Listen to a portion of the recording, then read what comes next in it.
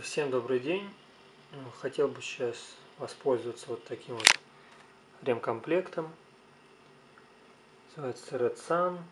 Ну, хотя заказывался как Santec, но в общем-то разницы никакой нет. Э, куплен он был в магазине veloolymp.com. Посмотрим, что там есть. 24 прямоугольные заплатки и клей самый обычный.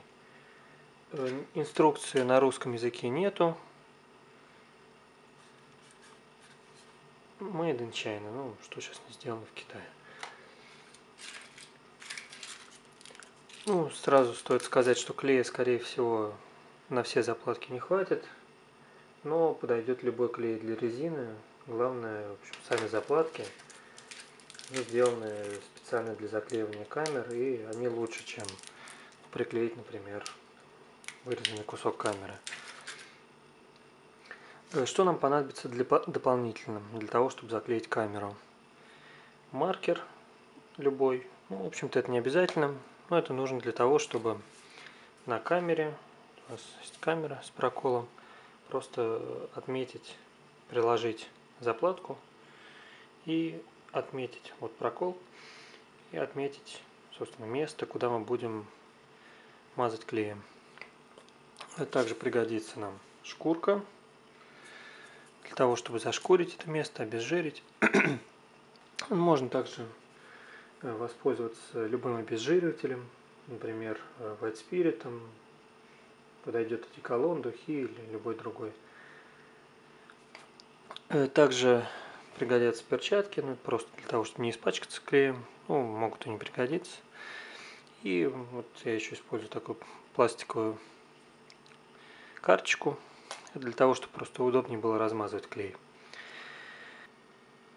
Так, первый этап, что нам нужно сделать, вот у нас есть камера, берем, распакуем одну заплатку, прикладываем ее на место прокола, здесь это уже сделано, и обводим маркером, для того, чтобы знать, куда нам мазать клей. После этого берем шкурку, абсолютно любую, и зашкуриваем это место. Также можно просто обезжирить его любым обезжиривателем. Э, после этого берем, мажем сюда клей и ждем 3-5 минут. После этого с усилием прикладываем заплатку. Ну и какое-то время тоже нужно подождать, хотя бы 5 минут. Ну, можно и подольше, можно и гнет приложить. То есть тут в зависимости от того, сколько времени у вас есть. Ну, теперь давайте что сделаем. Значит, вот у нас берем шкурку.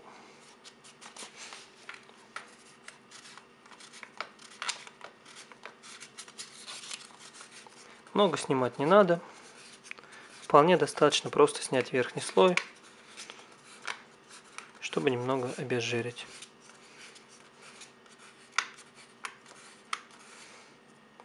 Вот, этого вполне достаточно. Так, теперь берем клей. Ну, перчатками не буду пока что.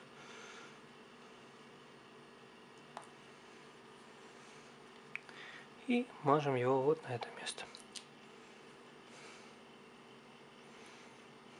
Много, в общем, мазать не надо.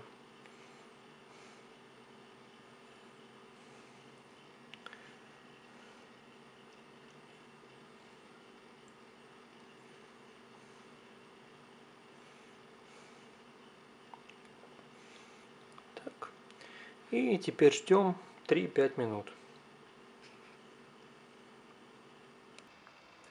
Так, прошло 5 минут. Клей, как видно, уже подсох. И можно клеить заплатку. Сразу скажу, что распаковываю ее изначально из вот такого пакетика. У нее два защитных слоя прозрачных. Нижний и верхний. Нижняя часть вот такая оранжевая, ей мы будем вот так приклеивать. И верхняя часть. Верхний слой изначально можно не снимать, просто так получилось, когда я распаковывал, он у меня тоже слетел. Так э, можно его не снимать, приклеить заплатку и потом уже его снять аккуратненько. Теперь берем и с усилием прикладываем заплатку на место. Тут основное это усилие, тут я уже, как видите, одел перчатку, чтобы не пачкаться клеем.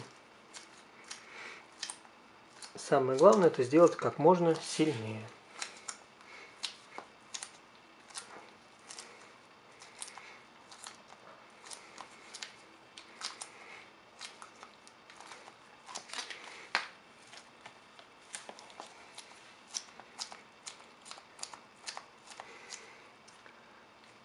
Заплатка приклеилась очень хорошо. Но не всегда так бывает, к сожалению.